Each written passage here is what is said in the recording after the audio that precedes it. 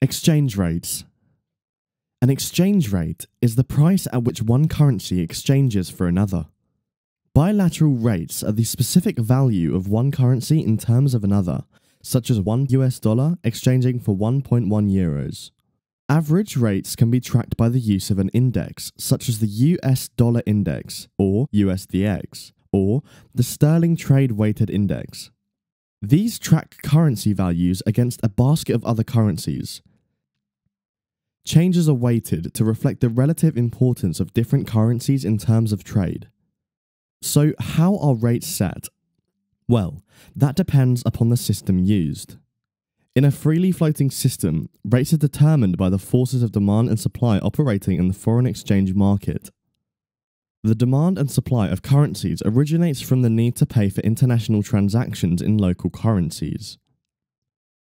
When consumers, firms, or governments in one country buy another country's products or invest in their assets, they must exchange their currencies.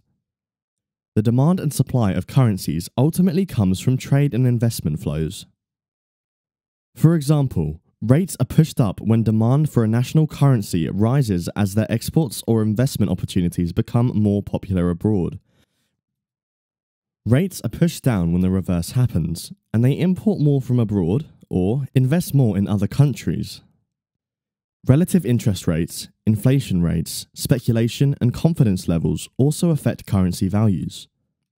In contrast, a fixed system involves currencies being pegged by a country's central bank or through a currency board, as in the case of the Hong Kong Currency Board, which pegs the Hong Kong dollar to the US dollar.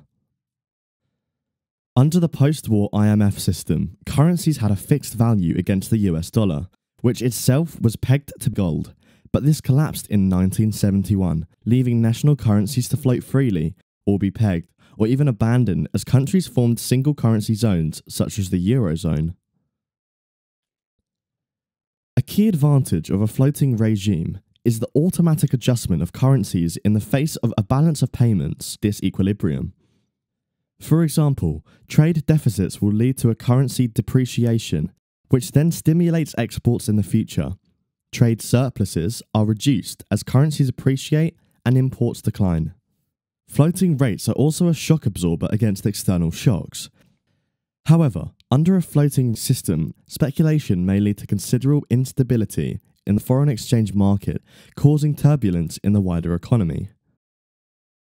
So, fixing rates can help reduce instability as well as provide certainty to producers who can predict the prices of their exports and the costs of imported raw materials and are more likely to invest in capital. Hybrid systems involve elements of fixed and floating systems. So, what effect do changes in exchange rates have on an economy?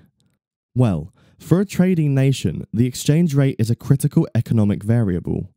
Initially, movements in currencies affect import and export prices. The extent of this depends on what is called currency pass through, which is the effect of a currency change on specific prices, these can differ widely from industry to industry. Assuming some pass through, exchange rates affect the demand for imports and exports, the full effect depending on the elasticity of demand for imports and exports. Given that exports are a key part of aggregate demand, exchange rates can affect national income, with a weaker currency stimulating export sales, jobs, and growth.